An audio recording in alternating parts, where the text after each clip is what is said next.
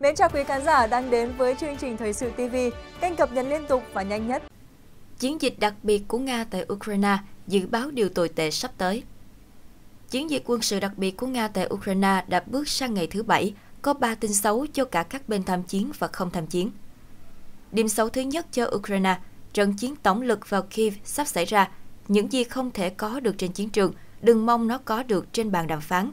Vì vậy, vòng đàm phán đầu tiên chưa chắc đã có kết quả khả quan và đương nhiên đó không phải là một điểm xấu.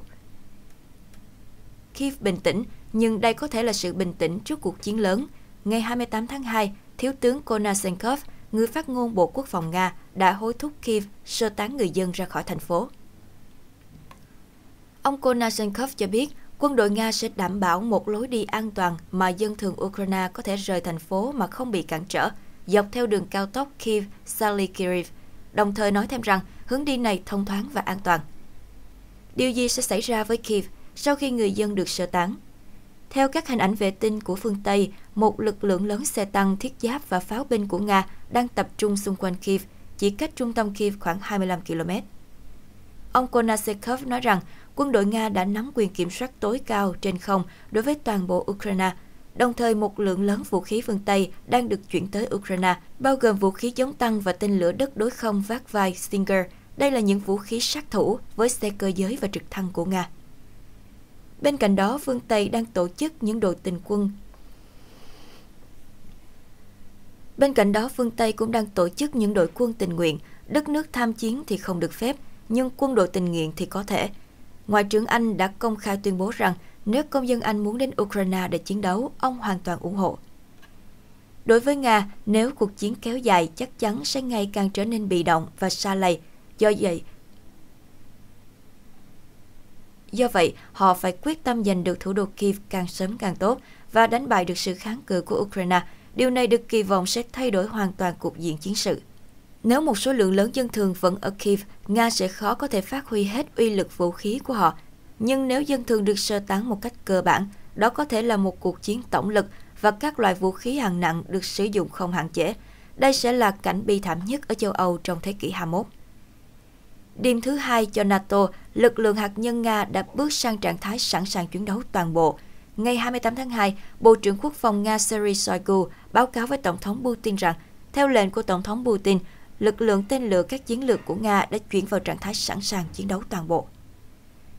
Ở nhiều quốc gia, khi đến những ngày quan trọng, quân đội sẽ chuyển vào trạng thái sẵn sàng chiến đấu, nhưng đó chỉ là đối phó với kẻ thù tưởng định nhưng khả năng sẵn sàng chiến đấu của quân đội Nga lúc này là chuẩn bị cho một cuộc chiến đấu thật sự với một kẻ thù thật sự.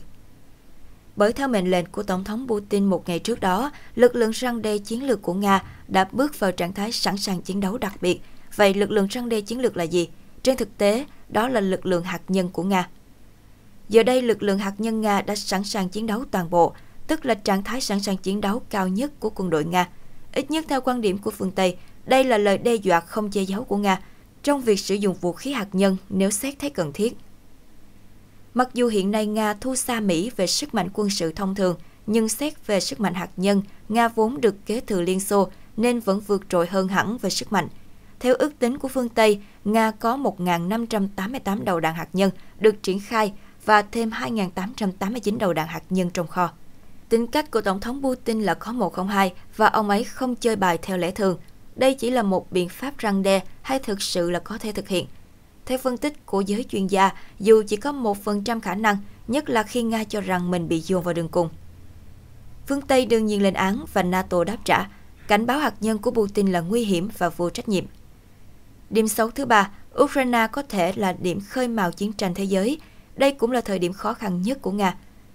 Ngày 28 tháng 2, đồng rúp Nga mất giá 30%, Ngân hàng Trung ương Nga chỉ có thể nổ súng toàn lực, nâng lãi suất từ 9,5% lên 20%, gây ra nhiều hậu quả nặng nề cho nền kinh tế của nước này và thế giới.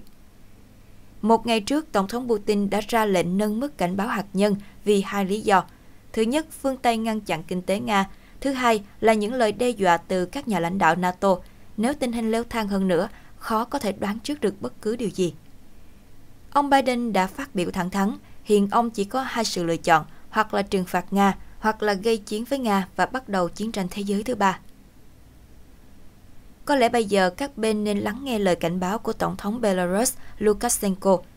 Chúng ta nên biết rằng các lệnh trừng phạt như còn tệ hơn cả chiến tranh. Nga đang bị đẩy vào Thế chiến thứ ba. Chúng ta nên hết sức cẩn trọng để tránh nó, vì chiến tranh hạt nhân là nơi mọi thứ kết thúc.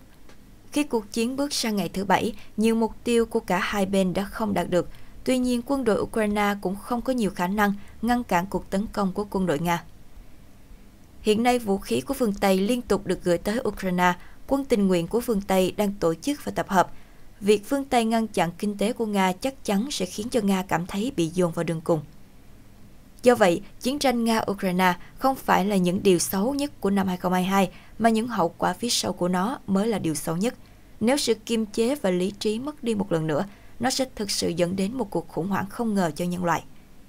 Xe phóng tên lửa hạt nhân Top-4M của quân đội Nga trên đường Moscow vào ngày 27 tháng 2 được người dân quay lại và đưa lên mạng xã hội.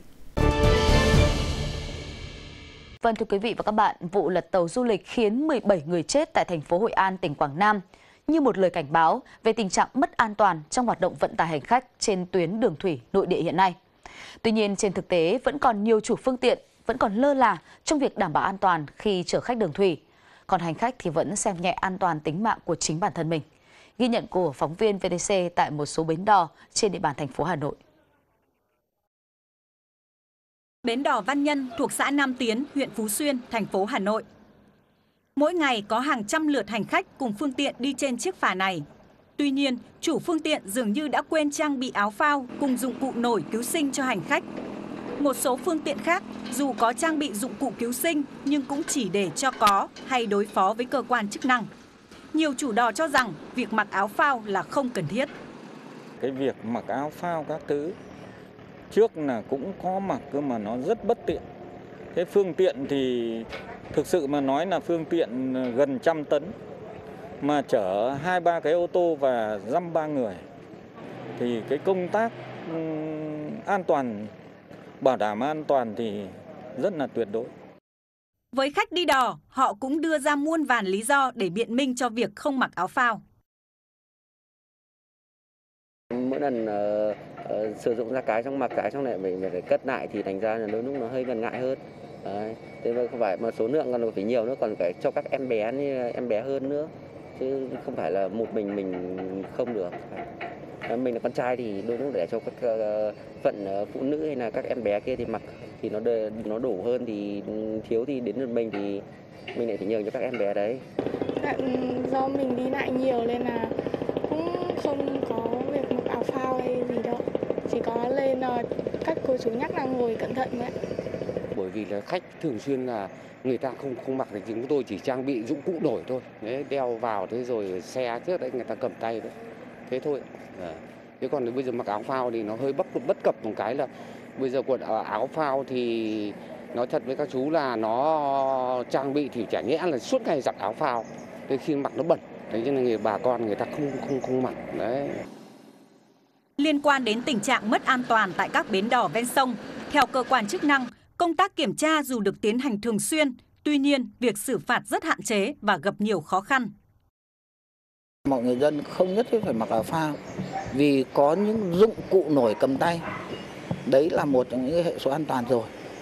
Cho nên là hiện nay các đồng chí có thể kiểm tra trên các cái bến khách ngang sông, mọi người dân không mặc áo phao nhưng họ có những dụng cụ nổi cầm tay cái đấy là vẫn có an toàn theo đúng quy định. Người lái đò thì à, chúng tôi cũng kiểm tra đã có các chứng chỉ à, à, đầy đủ.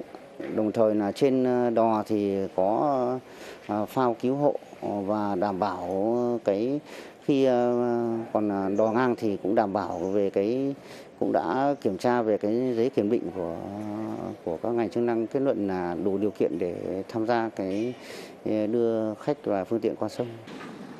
Theo thống kê của cơ quan chức năng, hiện nay cả nước có 2.538 bến đò ngang đang hoạt động, trong đó có 675 bến đã hết thời hạn hoặc hoạt động không giấy phép. Riêng tại Hà Nội, với khoảng 15 bến đò ngang đang hoạt động. Tuy nhiên, công tác bảo đảm an toàn hiện nay là đáng báo động mà nguyên nhân từ cả chủ phương tiện cũng như hành khách đi đò.